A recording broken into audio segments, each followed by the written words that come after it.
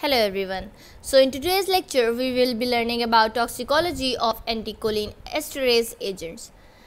So if we talk about irreversible kind of acetylcholine esterase inhibitor which have severe kind of toxicity when they are given in increased amount because uh, most of the irreversible kind of inhibitors of acetylcholine esterase are actually organophosphate compound so organophosphates are mostly agricultural insecticides and which has led to numerous accidental poisoning with these agents. Many of these agents were actually developed by the military as nerve agents and these are extremely extremely toxic because they bind to the enzyme irreversibly it leads to the long lasting effect.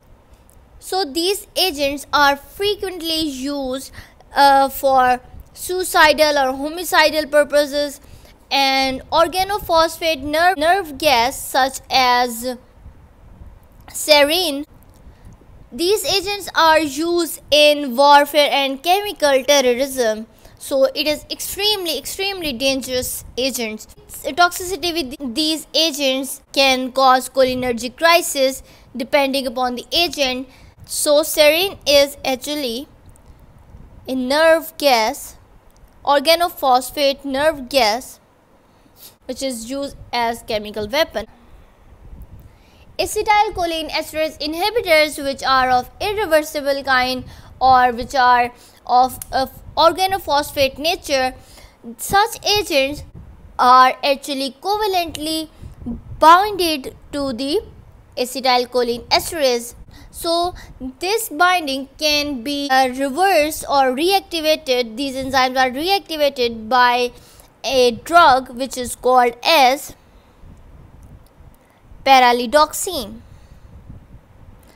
This agent can reactivate the inhibited acetylcholine esterase if it is given before the aging of enzyme. And now what is the aging of enzyme?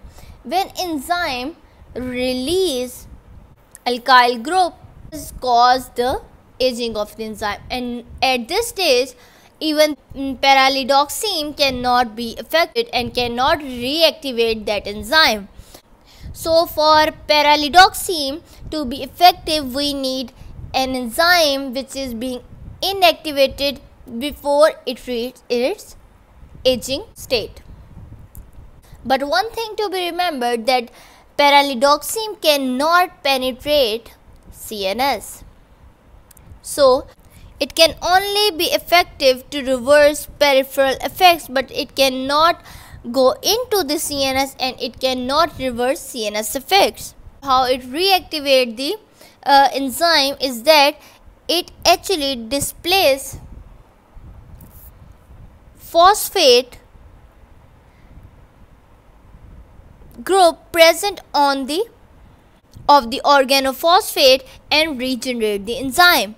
In this way, there is reversal of both muscarinic and nicotinic peripheral effects of organophosphate. But with a newer uh, nerve agent that produce aging within few seconds, pralidoxime is now less effective because when this aging uh, state is reached before giving uh, pralidoxime, there will be no effect if aging of the enzyme has occurred.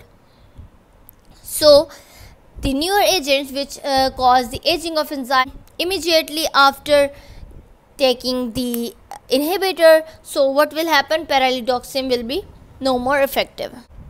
And another thing to be remembered that this pralidoxime is actually itself a weak kind of acetylcholine esterase inhibitor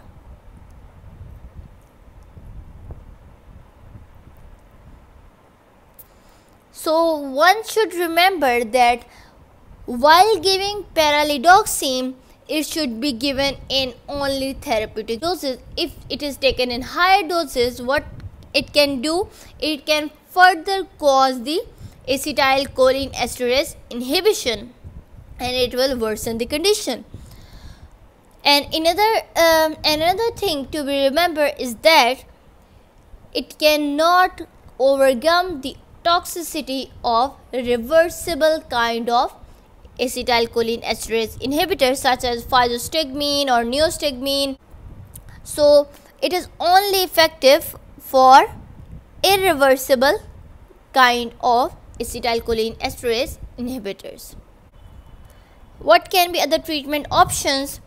Uh, atropine is also used to prevent muscarinic effects of these agents.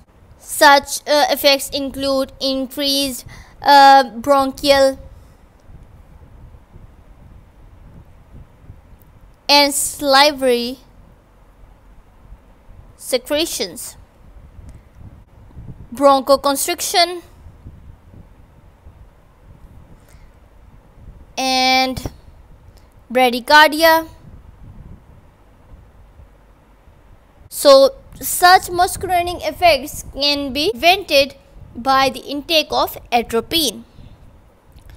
So, another thing we can use, another agent we can use is diazepam. And as we know, diazepam is a sedative or hypnotic. It is also administered to reduce persistent convulsions caused by these agents because it will calm the a patient which is having such problems.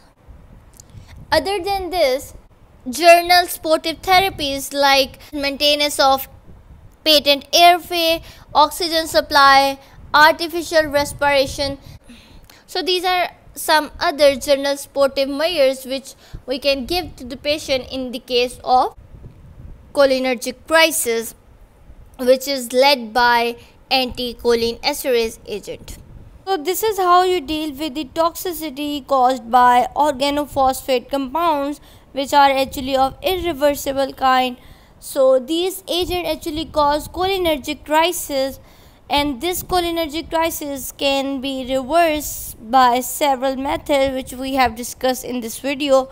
So if you have any question related to the topic let me know in the comment section below. And thank you for watching my videos.